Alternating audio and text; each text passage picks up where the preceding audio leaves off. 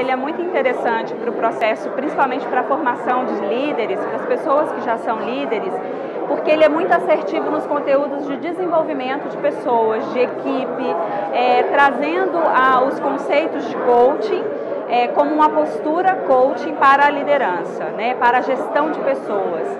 Eu acho que isso é muito interessante.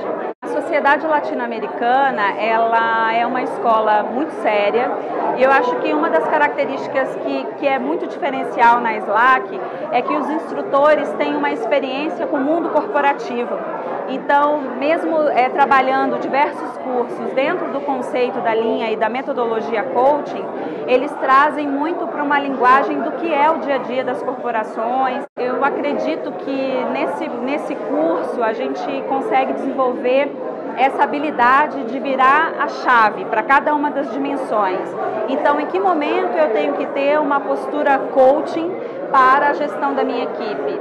Em que momento eu preciso de fato atuar como gestor?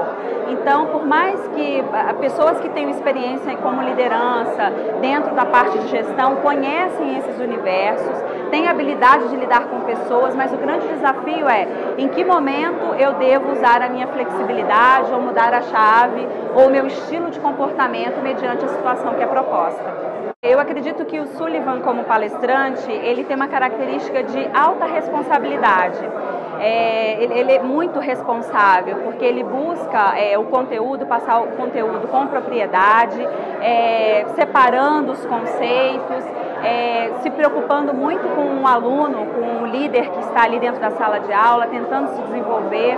É, há um alto comprometimento no desenvolvimento individual, apesar do grupo ser grande, mas há um comprometimento muito grande com o desenvolvimento da pessoa ali em sala de aula.